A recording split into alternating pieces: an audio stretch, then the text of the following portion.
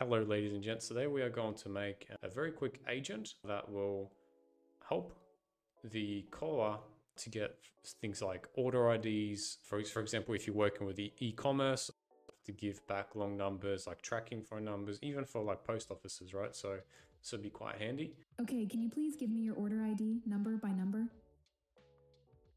Uh, yeah, sure. My order number is 3034 5678 1234 8921 0013. Thank you. Let me read that back to you to ensure it's correct.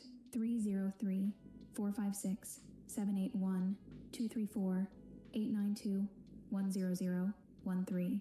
Is that correct? Please let me know if any part needs to be changed.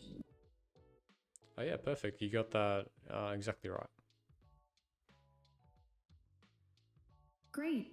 Thank you for confirming. A ticket has been created in the system, and a team member will contact you as soon as possible. Is there anything else I can assist you with today? No, that's it. Thank you. Bye. Thanks for calling us today. Have a great day.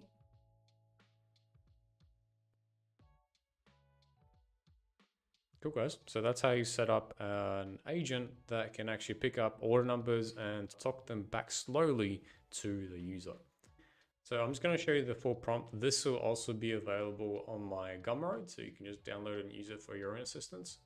Um, yeah, so uh, basically you are an ID agent in a customer service AR system, and your job is to verify and capture order numbers. Now, this works best as a squad setup. So I've got the setup with uh, five other agents. I call them agents instead of squad members. Uh, I just I just like that more because then it suits into things like swarm of agents. I just think it sounds cooler.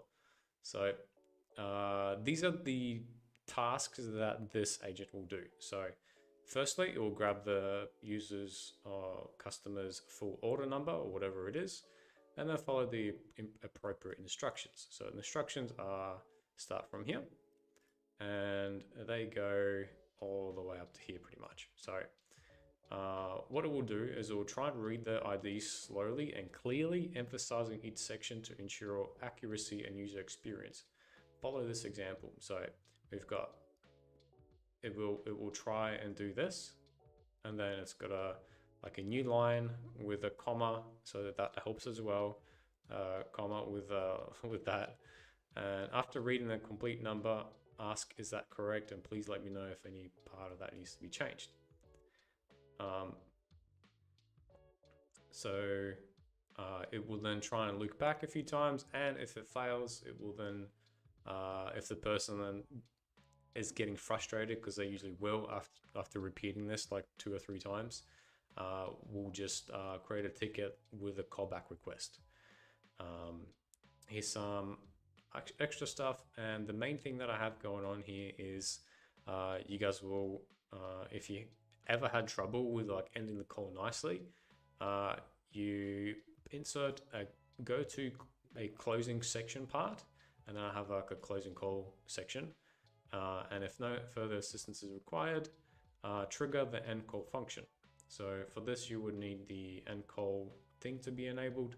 And then you don't put anything in the phrases. So what I mean by this is, so you enable it here in the functions, you enable that. And then you only have uh, this in the end call message. So you don't use the end call, where is it?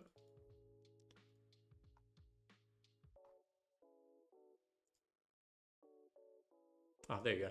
End call phrases. So you don't put anything in here. I found that very buggy. For example, it will say a random word like goodbye in like maybe even in between the conversation somehow or just the word bye then it will trigger this and just cut the call um, midway through the conversation which you don't want to happen. So i found that technique to be the best. Just put your end call message there and that's it. Cool, so that's the prompt. Another thing I put in there is the notes section and then say numbers slowly in a natural manner. Instead of 601, say 6 pause 0 pause 1. So this also I, hope, I found that helps uh, to read this back to the user.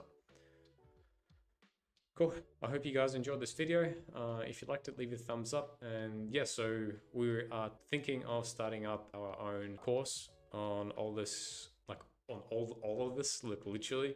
So with like Make.com, VAPI, LLMs, Postman, like writing your JSON API documents, uh, how to do sales and all that. If, you, if anyone is interested in that, let me know in the comments below. That, that would be some good feedback to get. So yeah, um, I'll see you guys in the next video. Cheers.